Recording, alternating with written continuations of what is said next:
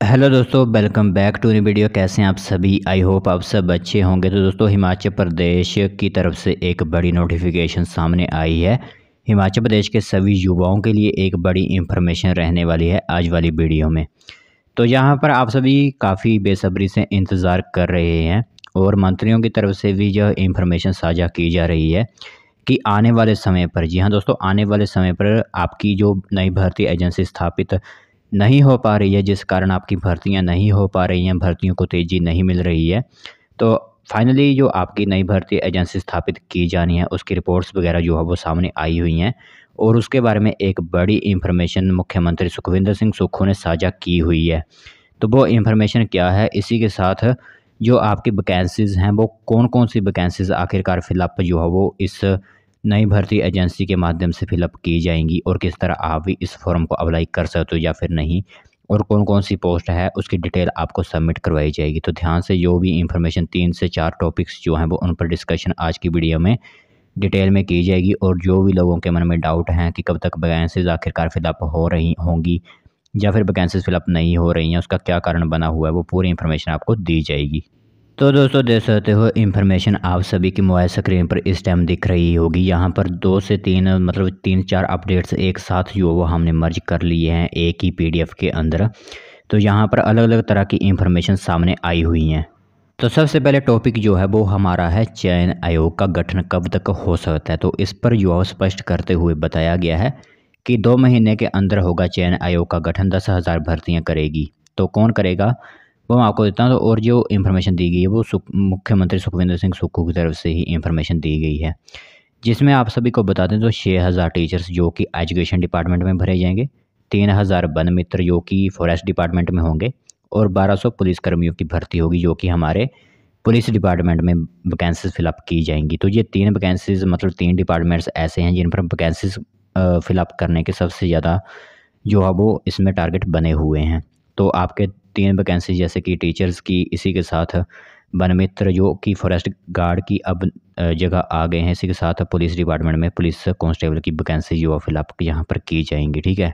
तो ये एक इन्फॉर्मेशन साझा की गई है। दूसरी तरफ़ हमीरपुर में ही जो है वो आपका नया चयन आयोग जो बनाया जाएगा, वो हमीरपुर में ही स्थापित किया जाएगा। कई और जगह या किसी और जगह नहीं बनाया जाएगा, क्योंकि शिमला में तो पहले से ही बना हुआ है, बाकी हमीरपुर में ही था, आपका पहले से ही हमीरपुर कर्मचारी चयन आयोग तो अब जो नई एजेंसी स्थापित की जाएगी, वो भी हमीरपुर में ही बनाई जाएगी।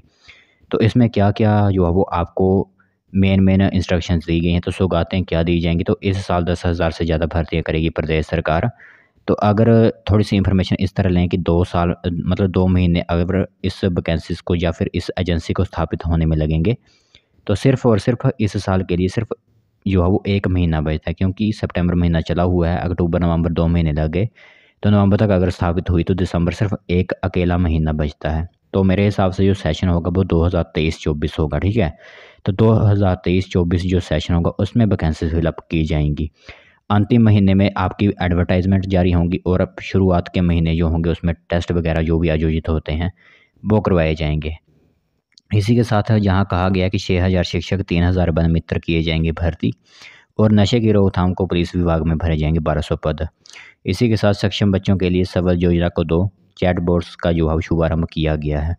तो ये एक इन्फॉर्मेशन आपको साझा की गई। बाकी जो मुख्यमंत्री सुखविंदर सिंह सुक्खू ने खुद इन्फॉर्मेशन दी हुई है, उन्होंने कहा है, इस साल देंगे दस हज़ार सरकारी नौकरियाँ, जो कि मुख्यमंत्री सुखविंदर सिंह सुक्खू ने ही इसकी जानकारी दी हुई है।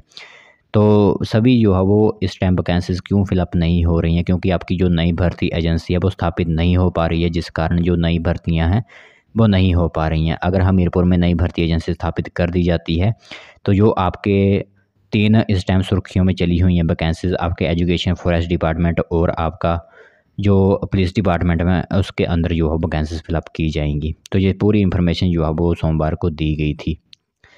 आगे बात करें तो यहाँ पर छः हज़ार अध्यापकों समेत दस हज़ार और पद भरे जाएँगे। तो एक जगह नहीं है, काफ़ी ज़्यादा न्यूज़ एजेंसी की तरफ़ से ये इन्फॉर्मेशन साझा की गई थी।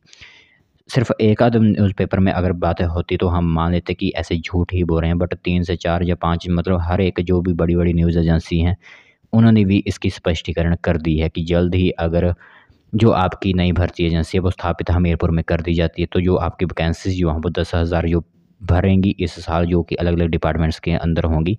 वो सभी इसी के अंदर भरी जाएँगी। बाकी अगर बात करें तो जल रक्षकों के जो हमारा आईपीएच डिपार्टमेंट है, उसके अंदर भी वैकेंसीज फिलअप करने की बात कही गई है। जिसके अंदर नए चयनों के माध्यम से जल्द शिक्षकों के छः हज़ार पद भरे जाएँगे। बाकी यहाँ पर तीन हज़ार वन मित्रों के पद जो भरे जाएँगे। बारह सौ जो होंगे पद वो आपके पुलिस डिपार्टमेंट के अंदर भरे जाएँगे। बाकी जल रक्षकों वगैरह जो भी पद होते हैं, वो आपके फिलअप किए जाएँगे, क्योंकि वो तो सीधी भर्ती होती है। मेरिट के हिसाब से उसके लिए कोई भी टेस्ट आयोजित नहीं किया जाता है।